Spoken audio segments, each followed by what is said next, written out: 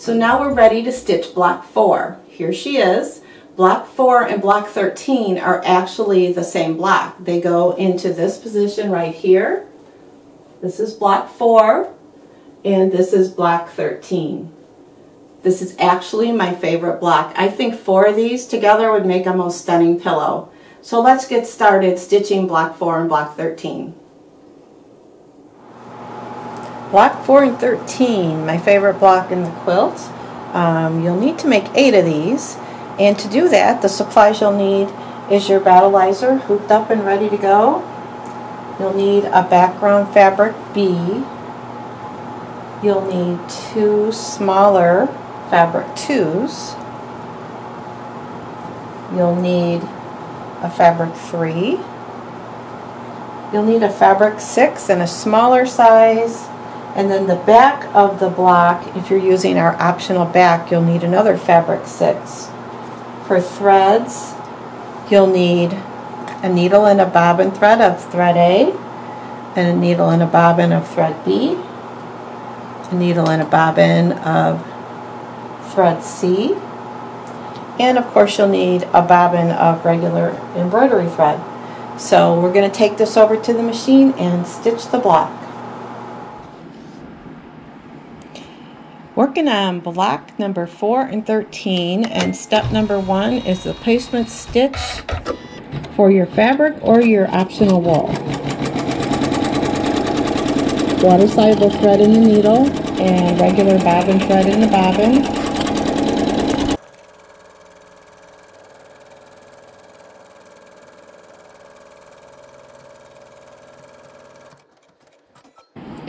Step number two is to place your wool if you choose to use it, or you can skip it and go right on to step three.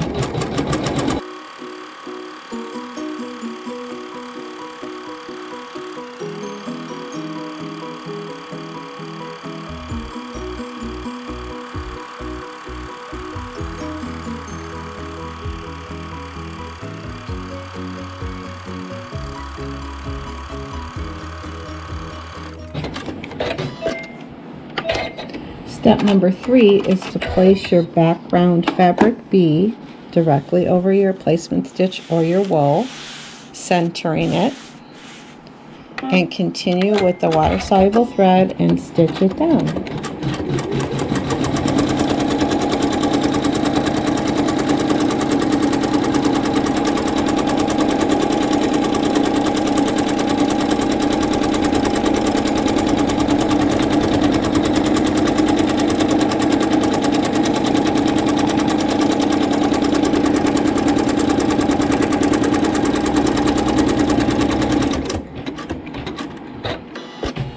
And step, step three will also have the placement stitch for all of your fabrics.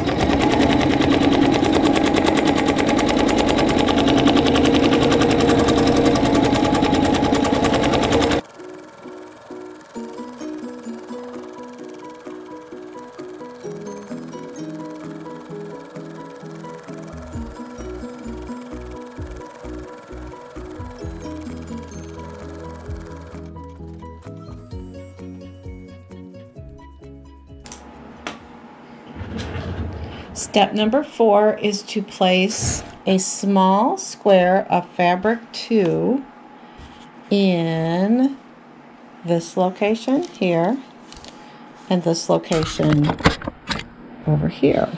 So we're going to center the fabric 2 right over this little area right here. Make sure your fabric 2 is right side up. We're continuing with the same thread and I can feel through the fabric where my stitching will be. So I'll go ahead and stitch that little section down.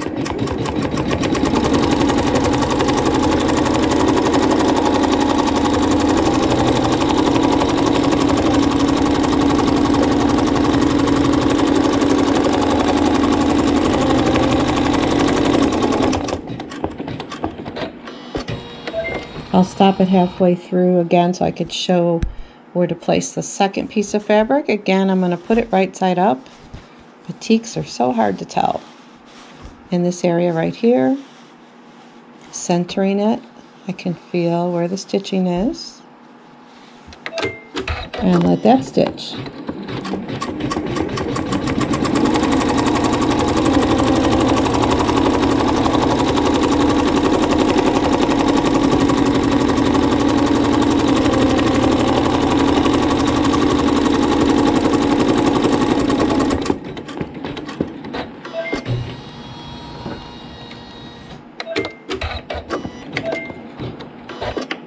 And next we have to trim.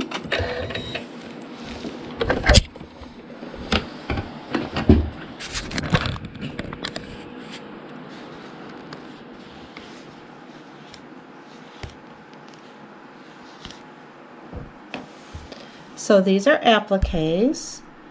So we have to trim um, and really, really close right here because this is the outside of the applique and this area right here will be covered up with another piece of fabric. So we're going to leave a scant eighth of an inch right here. So it doesn't have to be real close. So we'll just trim it just about like that.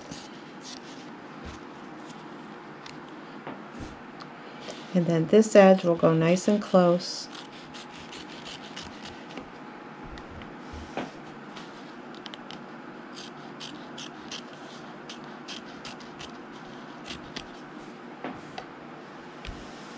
And then this one, the same thing. This is where it will meet another fabric, so this area gets an eighth of an inch trim. Pardon my hand. And then this is your outside edge, which will get a satin stitch, so we want to trim that nice and close.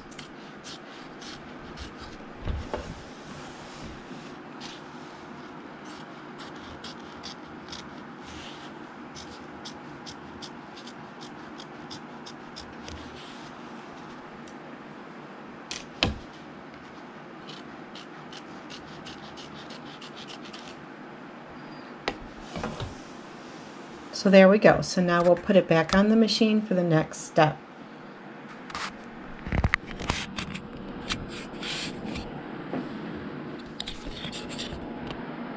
We're at step five, and that step is to take fabric three and place it over the whole block.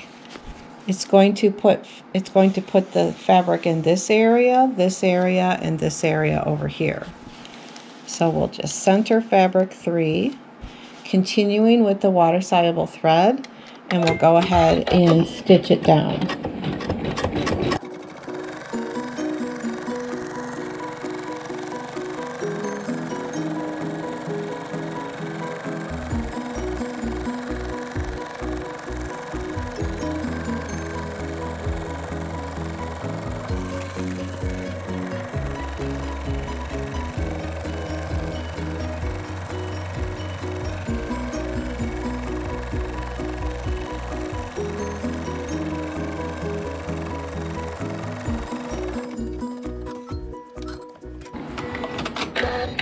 Now we need to trim our fabric three. So I'm removing the hoop from the machine.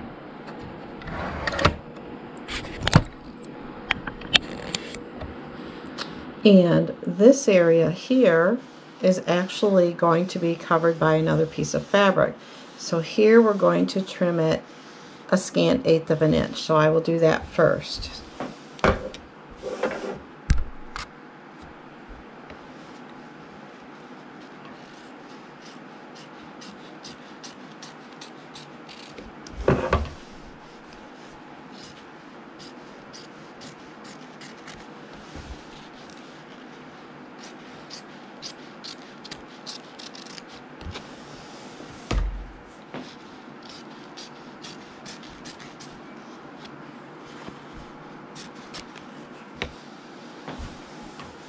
So this will get another piece of fabric. Next, this area out here will get your satin stitch. So this needs to be trimmed very closely.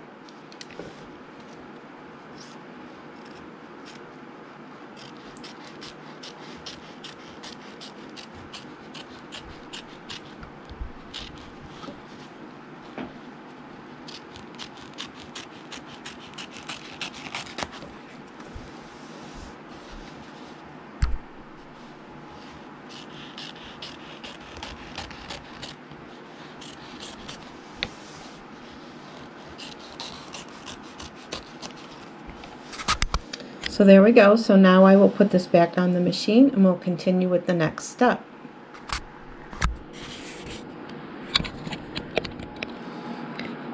I'm going to go ahead and trim these little corners off right here because I know I won't want them when I'm done. Another one right here, right there. So now we are at step six, and step six is to take your fabric six and it's going to cover these two areas. So I'll just place my fabric six right side up, covering those two areas. And I'm continuing with the water soluble thread and stitching the tack down.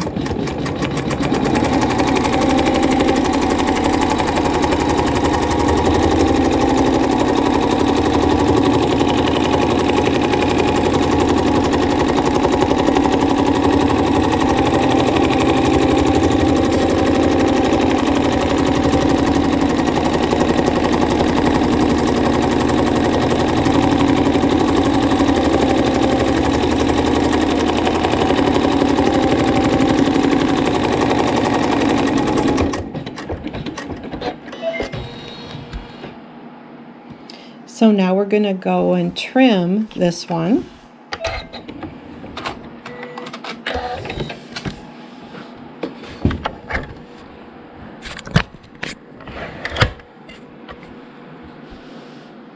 And on this particular one, we're going to trim close all the way around it. So I will go ahead and do that because this whole thing is an applique.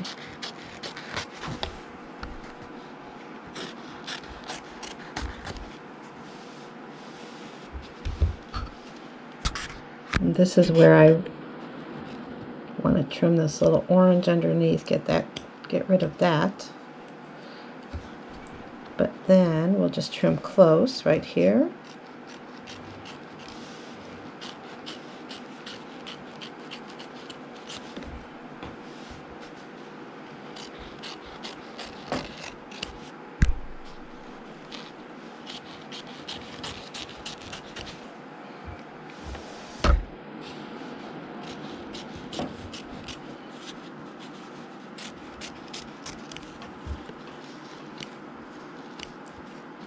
So there we go. And I don't think I mentioned it, but when you do this step here, make sure you keep that fabric within your seam allowance so that you don't have a raw edge here on this side as well. So now we're going to put the hoop back on the machine and continue with the next step. Next step is step 7 and we will place our thread A in the needle only and it will stitch the satin stitch in these yellow areas to cover the raw edge.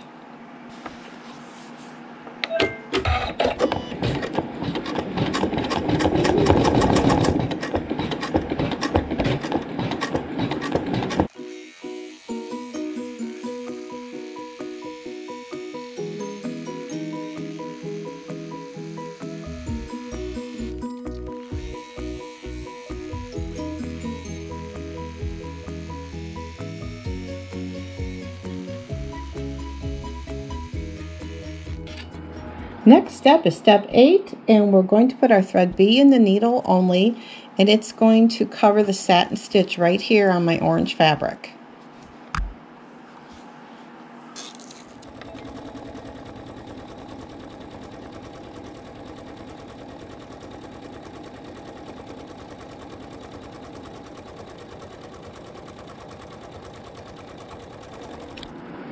Step 9 is next, and I've got thread C in my needle, and it's going to go ahead and stitch the satin stitch around this aqua color.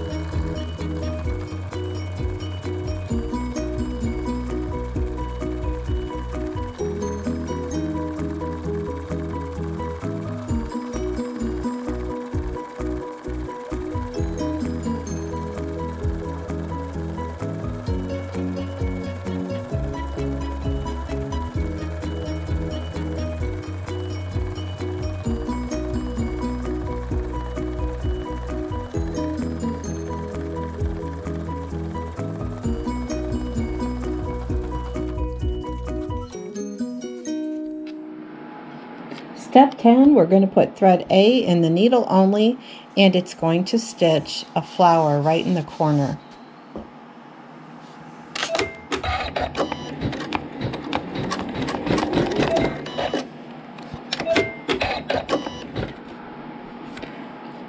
Ready for step 11 and I've placed thread B in my needle only and it's going to stitch a decorative stitch right in this area here.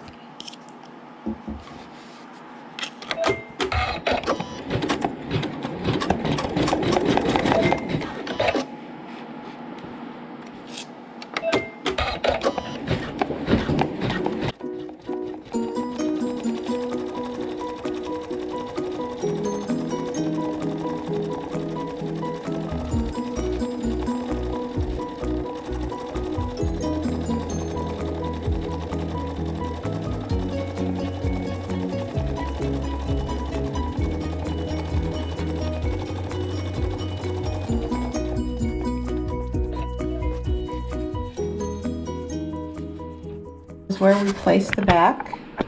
And the back is fabric 6 if you happen to be doing the optional back. And we just need to put it right side up, centering it over the stitching.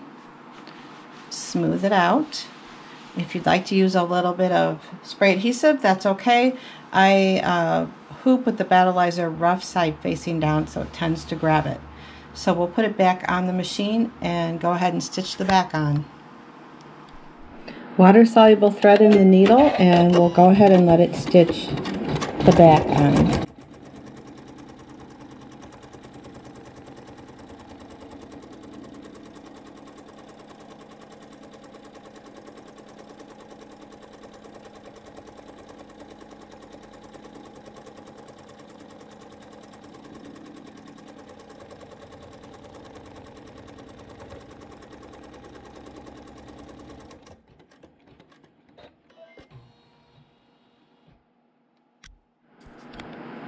So step 13, I put my thread B in my needle and my bobbin and I've got the back on now so I do need to go on my machine and turn off my automatic thread cutter. There we go. And the other thing we need to do is bring my bobbin thread up to the top. So we'll hold the top thread, use the needle up down, and pull that bobbin thread up to the top. And then we'll go ahead and stitch step 14.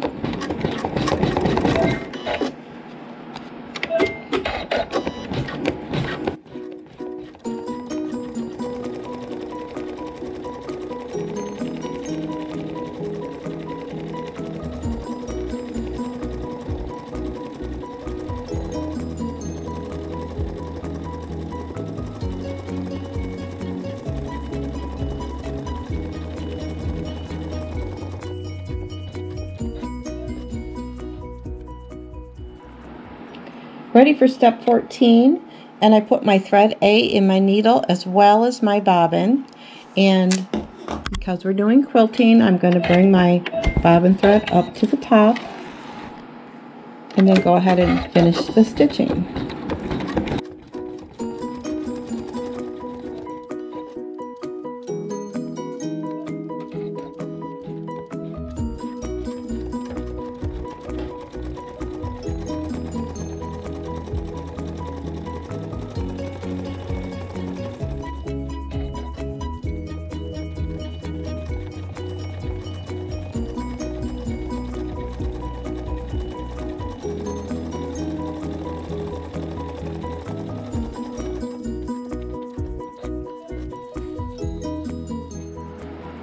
Last step for block 4 and 13 is step 15 and we're going to place our thread C in the needle and the bobbin and finish out the quilting.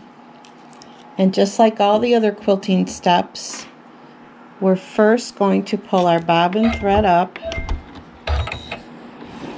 to the top and hold on to it while it stitches and let it finish.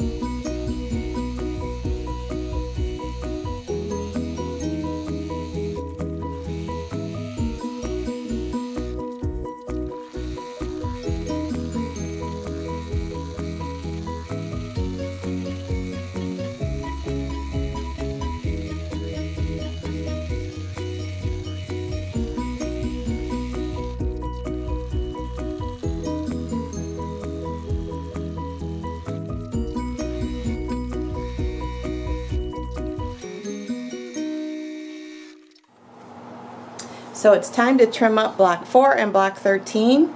So we'll use our trimmer by George and pull the front of the block back and shimmy Why that shimmy that metal edge up to the basting line.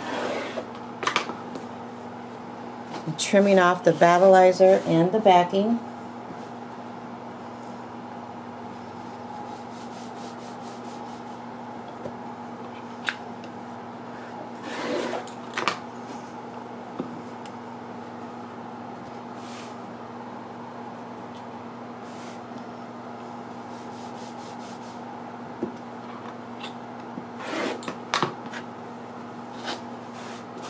Almost done.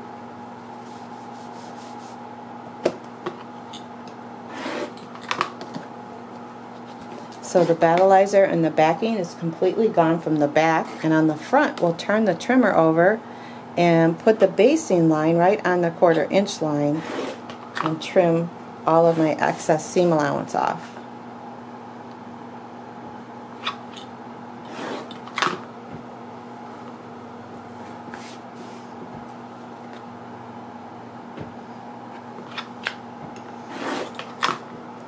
One more side.